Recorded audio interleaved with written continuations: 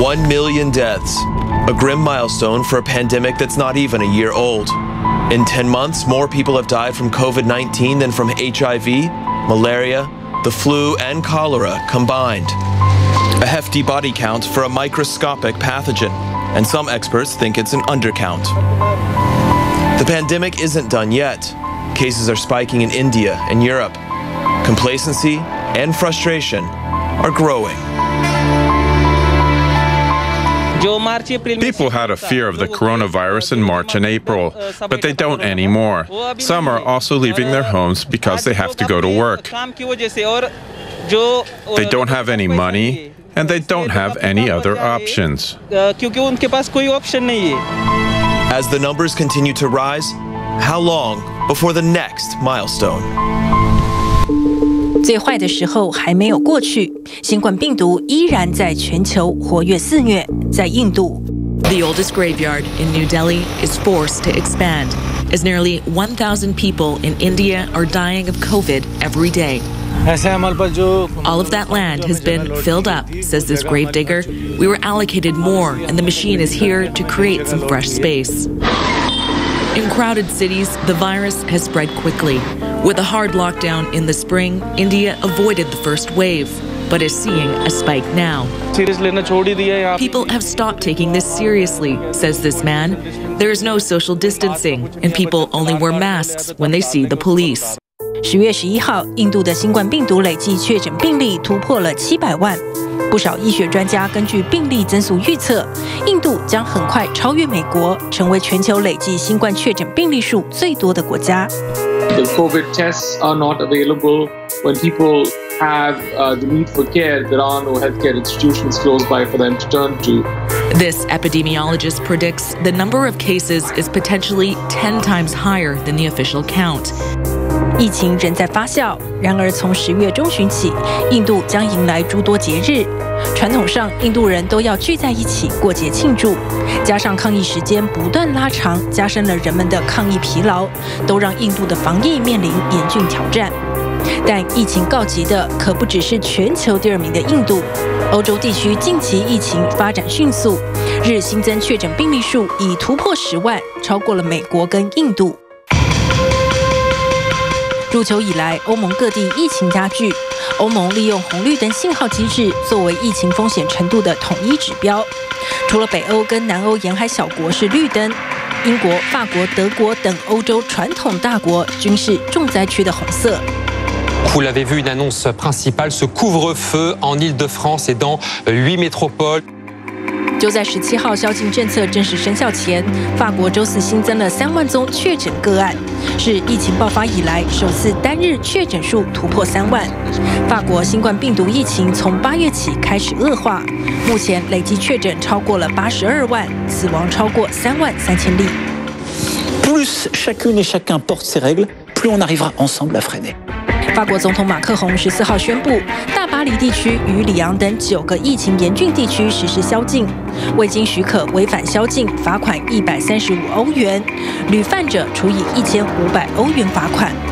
禁令一出，让不少餐饮业者大叹生意做不下去。Ici, on travaille 80%, c'est le soir, le chiffre d'affaires. Le prochain mois, moi, je pense que je vais fermer. Puis, je vais peut-être même mettre la clé sous la porte.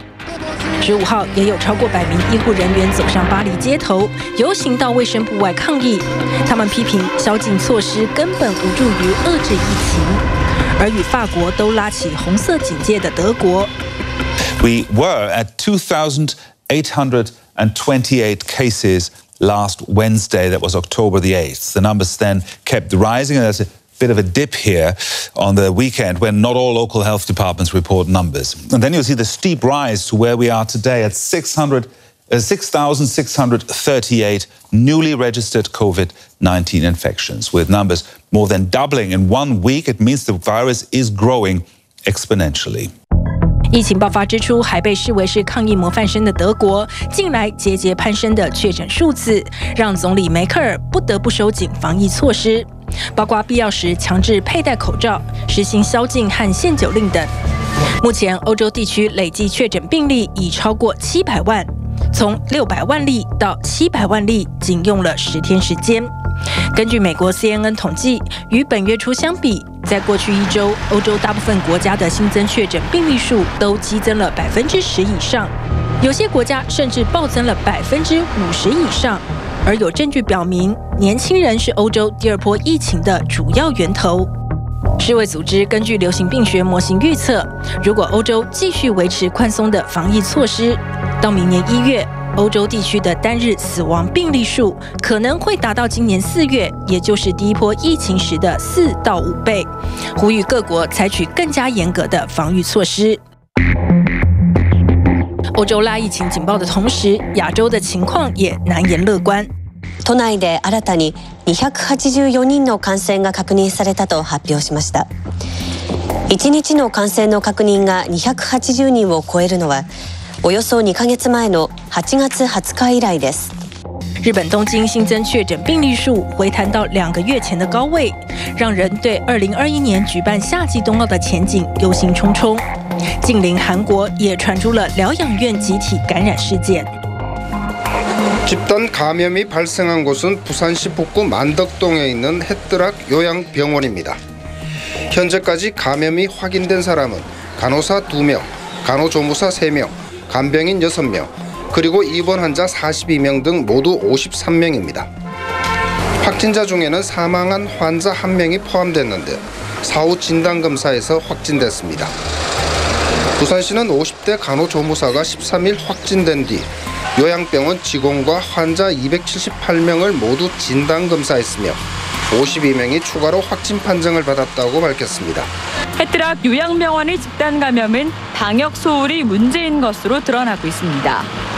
최초 확진된 간호조무사는 고열 증상이 시작된 지 5일 뒤에야 확진 판정을 받았습니다.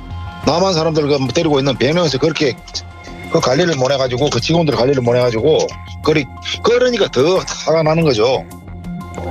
东南亚的菲律宾跟印尼，九月初就成为疫情中心，新冠病毒确诊病例数均突破三十四万，分居东协国家的前两名。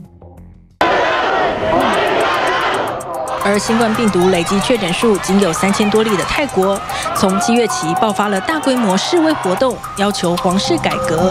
十四号抗议再次升级。示威者与警方在曼谷市中心短兵相接，警方逮捕了约二十人，包括了三名学运领袖。为了防止冲突扩大，泰国政府十五号以维持和平及秩序为由，颁布为期三十天的紧急禁令，阻止首都曼谷举行五人或以上的集会，也禁止人们发布或会损害国家安全的网上讯息。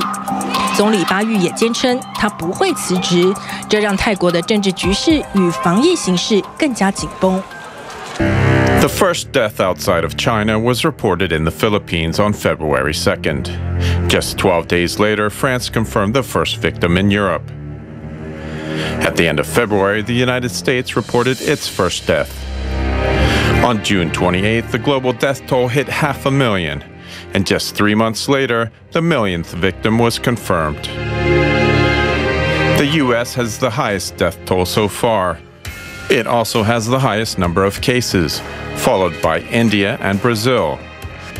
Spain has the most confirmed infections in the European Union. With cases surging across the world, experts expect the global death toll to climb rapidly in the coming months.